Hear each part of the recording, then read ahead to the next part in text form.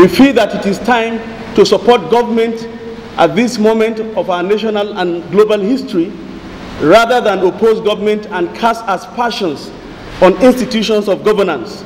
Such acts of blackmail on institutions and government are at best unnecessary, they are very unsolicited, and they are deliberate attempts to undermine the value of the national response as well as the collective endeavor of the global collaborative community to overcome the pandemic. We are faced with a very severe danger. In fact, humanity is under an ambush. We are fighting an unseen but vicious enemy, and we must not take it for granted. Recall that on 1st of February 2020, when this pandemic was declared an emergency, there were a total of less than 8,000 cases globally. And we had 7,500 of those cases in China. The rest spread across about 62 countries of the world. Today, four months down the line, there are over 3.4 million cases globally, with over 200,000 deaths. And the situation took the entire nations of the world unawares. Even the most sophisticated nations are grappling to cope with the impact of the pandemic. No nation was prepared for it.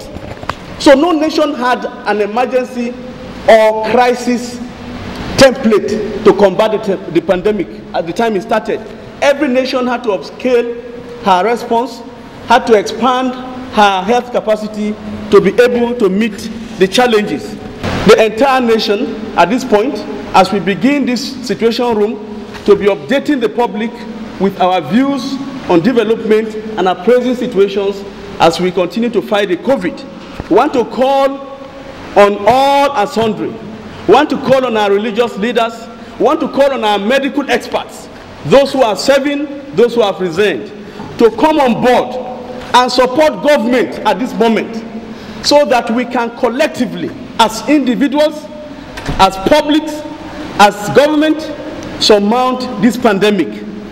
Every day, the country is learning as we embark on this response. Everybody is learning. The citizens are learning. We are all learning. So it's a learning call for everybody. And we must acknowledge this. It is not time to engage in opposition. It is not time to engage in name calling. It is not time to engage in blame trading. It is rather time that we must come together, harness our resources, harness our intellectual powers, harness our commitment so that we can collectively surmount this disaster. We urge also on government to do its best and to continue to upgrade the healthcare system. We call on government to continue to engage the civil society, especially at the community level, so that the response from the community will be more comprehensive and community-based. Finally, and to end our remark, we'd like to thank and appreciate our front-line responders, our health workers, our media practitioners, and other essential service providers. We'd like to also pay our condolences to families, friends who have lost loved ones.